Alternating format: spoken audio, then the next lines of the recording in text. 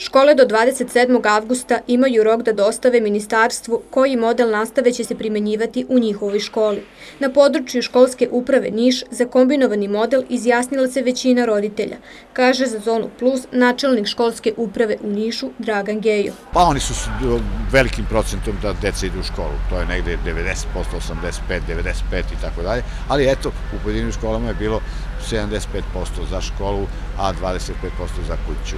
Još je neizvesno kako će se odvijati praksa u nekim srednjim stručnim školama, naročito u medicinskoj. Tu će biti problematika, tu moramo da vidimo kako šta je, kako su spremne firme, da li u firmama ima zaraženih i tako dalje i obolelih, pa onda u tom slučaju da ih lagano i tamo sa upratnji nastavnika, kao što je uvek i bilo kad je praksa u pitanju, a učenici medicinske škole neće moći najverovatnije da idu u, u bolnice, jer sve, sva ta odeljenja su na pretvoreno u COVID malte ne, tamo gde su oni vežbali, tako da će ojačati kabinete u samoj školi ili kombinovati nešto sa fakultetima. U ekonomskoj školi u Nišu učenici koji polaze u prvi razred nastavu će najpre pratiti u učionici. Odelenja delimo na pola, znači po 15, imamo uglavnom po 30 učenika, po 15 ora. Znači jedno, jedno odelenje će slušati nastavu jedne nedelje prepodne, jedne nedelje online i tako menjati smene.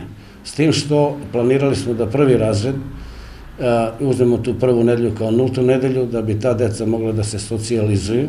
I odeljenje osnovnih škola sa više od 15 đaka delit će se u grupe, što otežava posao nastavnicima.